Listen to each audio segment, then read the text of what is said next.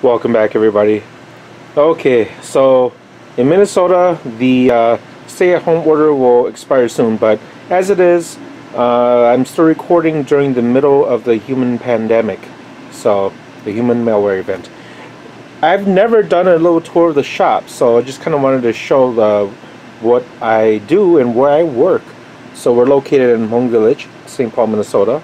Um, it's a little uh, facility that if you can see behind me, there's actually uh, restaurants and such. And so usually back here, there's going to be tables and there'll be people coming in and eating. But I'm located here and it's noisy. So when I first started working at this location, there was no ceiling to the uh, uh, shop here, and we put one in. We put lighting and such in there, but but this is the shop. So what you see in front are motherboards, really old ones too. So we've got AGP back, you know, a couple of these um, really really old motherboards here, and some motherboards. My first uh, my first uh, diagnostics computer actually was with this motherboard here. This was a premium AMD board back in the day, the GA790FX uh, UD5. Had every connection you could think of. As you can see here, there is actually floppy, IDE, clear CMOS button, power button, reset button. Okay, they took a AM3, so we, I had a uh, quad core, the uh, uh, 955, and if you can see back here, we had all the connections, FireWire, the PS2, okay, optical out, analog out, uh, eSATA, okay, we had FireWire, FireWire again, another uh, high power USB, another eSATA, USB 2, USB 3, and LAN here. And so, and again, look at all the connections I had on this. This died because I was, at that time, I was lugging it around back and forth from work in the Antec skeleton case you see here. So this Antec skeleton case I bought back in 2010. 2000, yeah, it was 2010. This fan has been working seven days a week for roughly 10 years. That's freaking awesome. You know, because it's 2020 now. And um, the case has served me very well. Um, it still has really cool air if I put my hand in here. And look at what I'm rocking down here. I'm going to turn on the headlamp here. I have Core 2 Duo ATI Eyefinity. And ATI Eyefinity, and like that is, uh, I just I decided to put a lot of uh, stickers on there for the heck of it. But I was rocking one of the first Blu-ray drives, and I have a DVD drive there. And I have uh, a, a terabyte hard drive, two terabytes, and an SSD here, and that can be moved up and see such that Antec skeleton, you can actually hang external hard drives here. And so I have one external uh, uh, Apple hard drive that I, am using for data storage, but you can see a USB plug here, and all the power connectors are going to the back of the computer. If you're wondering where it is, uh, this is a uh, uh, Intel i7 2600. Um, so this is the 2600K, uh, and so I, I just have overclocked at 4 gigahertz, but then I have 16 gigs of 2133 megahertz RAM. And this is a gigabyte motherboard, but this is a small one. I grabbed it because like I said, I burned up my AMD one.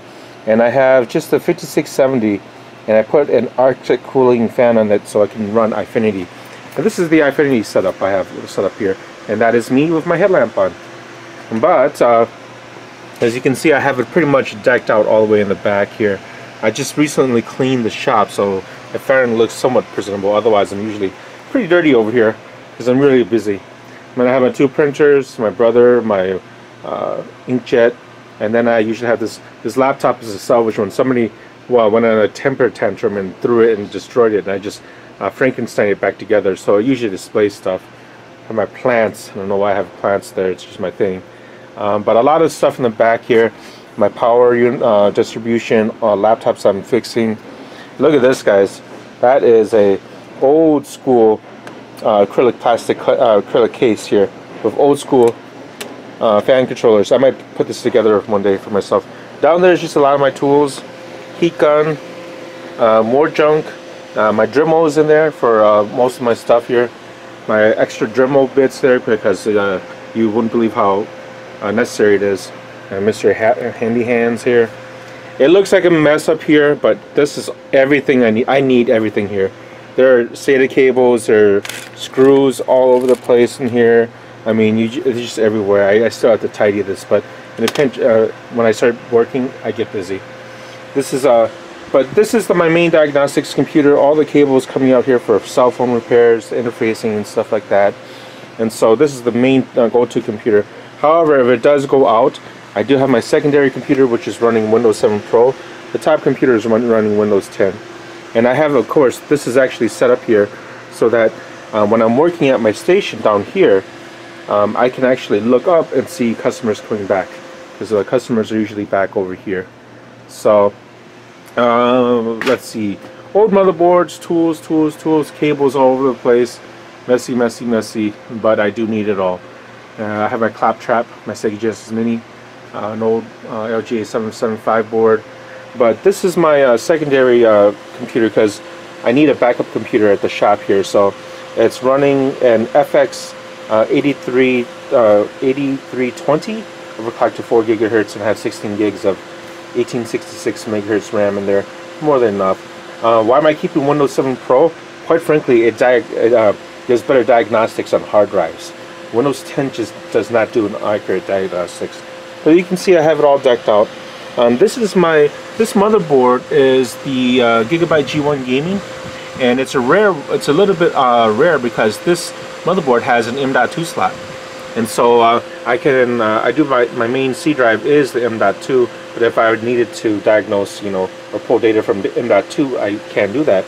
And you're wondering how can I do that if my main C drive is my operating system? Well, if you can, I'm to go here and I'm to turn off the light real quick.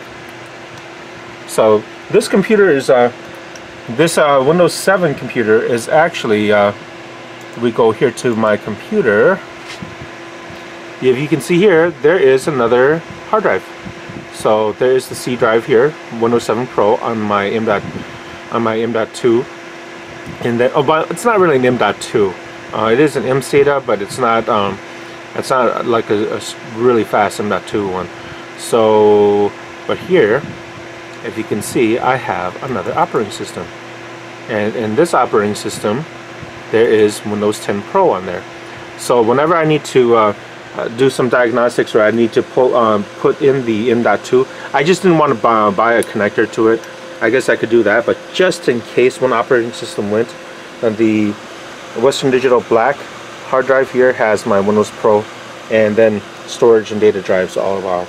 And so uh, if you're wondering why it's open, it's because I used to Bitcoin mine. And this is my GTX 10, 1060 and I uh, Zotac and the Zotac fan uh, failed. So I slapped on a 10,000 RPM fan and that's why it's so noisy. But uh, it, has been running 20, it's been running seven days a week. And this is an older computer I, that I put together. Somebody threw it away, but it's small and nice and it fits right under my cupboard. And this is what you see over there. It's also Windows 7 uh, Pro.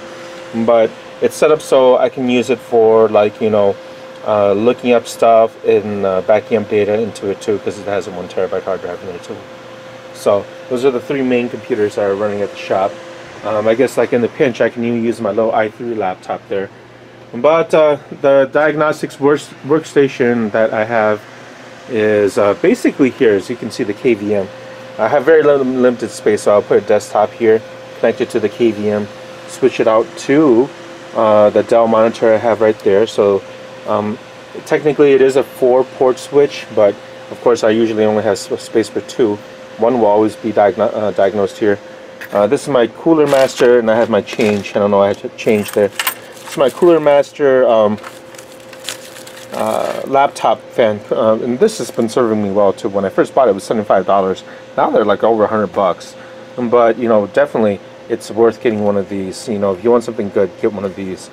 Uh, junk power cables and stuff like that, and all this stuff I start to organize. Uh, I still have to set up the security system, and so. But check this out. This is a an old shuttle computer back from the XP days too. I just kept the case. Um, but otherwise, uh, there's some. This is a customer's computer. This I had to take apart and make it more space. Otherwise, believe it or not, I use this Dell right here, this Dell monitor, and I have it connected with a VGA and DVI and then I also have uh, and I have this little besides my my hot noodles basically uh, I have this blue bin because I'm using it to recycle electronics and otherwise I'll have a stand-up table which gives me more, some more workspace and when that's usually gone I have more workspace I even use uh, this top area for a workspace and I have my LED uh, magnifying little uh, setup here with a magnifying glass here so I can do uh, motherboard inspections, phone inspections and such. Um, but also out here is the main shop so I can show you guys up there. So, but basically that's a, a lot of the information about COVID. And so if you guys never really seen us, we are called Lor Imports and Custom PC. And that is our information. So uh, that phone number is out of date, but but basically there we go. We have uh, we have our custom gaming computer. This is something on consignment, and so is this Asus gaming computer that's on consignment too. But just uh, thought it was really long overdue to do a little uh, video on the shop.